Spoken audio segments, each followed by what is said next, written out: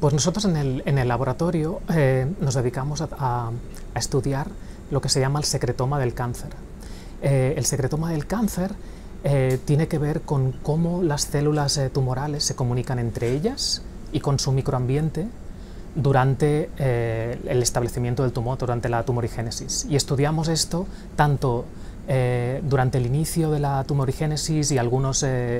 eh, etapas claves como la invasión eh, tumoral, pero también lo estudiamos durante el tratamiento terapéutico. Un tumor no deja de ser como una ciudad o como un pueblo, entonces eh, los distintos habitantes, las distintas células hablan entre ellas. Esta, esta, comunicación, estos mensajes son muy importantes y lo que hacemos en el laboratorio precisamente es aislar este, estos mensajes en forma de proteína y ah, lo que hacemos es cuantificar de una manera ómica, digamos, cuantificamos miles de proteínas que son los mensajes estos que se están, eh, que se están lanzando, digamos, entre los habitantes del pueblo y a partir de estos mensajes seleccionamos unos, algunos mensajes, digamos, más malignos, entre comillas, que podemos usar como marcadores tumorales o como marcadores de la respuesta a un determinado fármaco.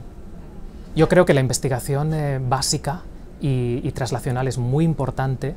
para, la investigación clínica porque hay muchos proyectos que acaban eh, teniendo aplicaciones clínicas que al principio en el laboratorio no, no, están tan claros. La investigación básica es, es, clave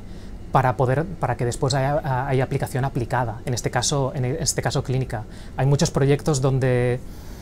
vemos cosas interesantes, pero que a priori no le vemos una aplicación que una vez avanzas, eh, puedes, bueno, acabas teniendo digamos, aplicaciones en la clínica.